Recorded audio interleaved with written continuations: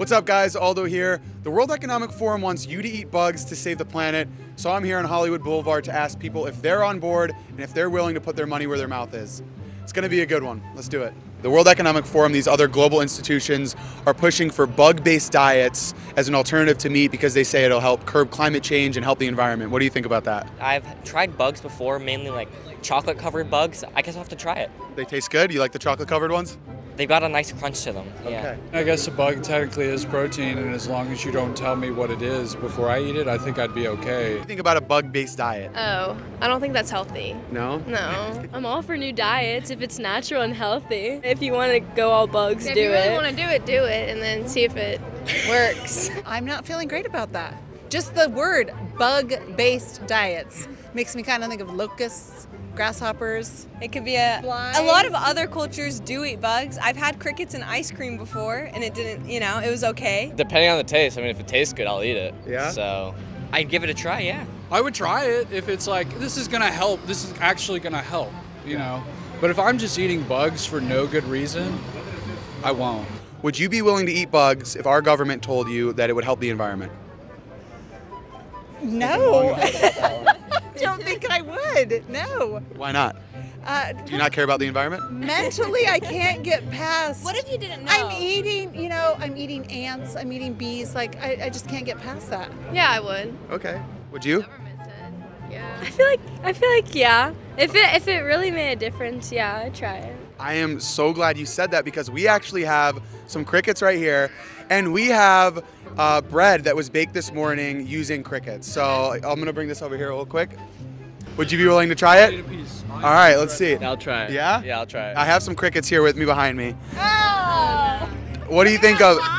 What do you think about when you see this and think that the government wants to put this in your food? I can't do it. I can't do it. No, what do you think? I'm against seeing them alive first.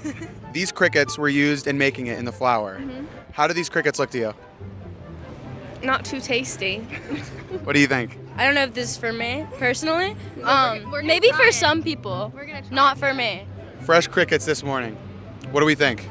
Tastes pretty normal to me, actually. Yeah? Nice flavor to it. It'd be probably better if I didn't know. How's that crunch? Do you, do you taste the crunch? It doesn't bother me, guys. Wait, can I have the last bite? They're not, they're not bad. What do you think? I like them. Tastes like banana bread. Was there any crunch in there? Mm-hmm. How was the crickets?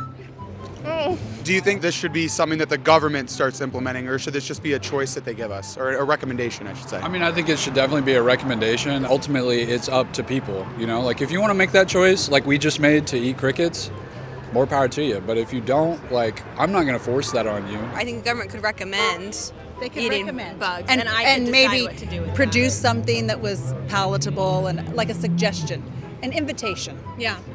do you think forcing it and not labeling it is going too far?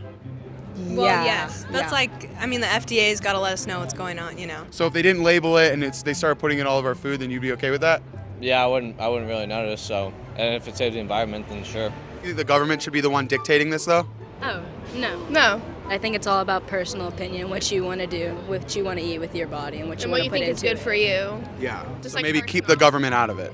Yeah, I would say so. Yeah. Yeah. Think it'd be easier to get people to come to a party if you were selling cricket burgers or beef burgers? I mean, that would be. Beef burgers, come on, come on. That would be when I, I I wouldn't tell them that there was crickets in it until afterwards. You'd be like, "That was a good burger, right, guys?" Like, Kind of like how I just gave you banana bread and said there were crickets in it, but there weren't. there weren't crickets in it. I was like, that Oh, like crickets. dude, I, oh, I I hate that. I was like, I was really proud of myself. And listen, by the way, there weren't any crickets in that. It was. Yeah. we wanted. We were trying to see if people put their money where their mouth is. So you did it. Well, guys, that's a wrap. Are you gonna eat the bugs or are you sticking with meat? Let us know in the comments below. If you enjoyed this video, give it a thumbs up and share it with your friends.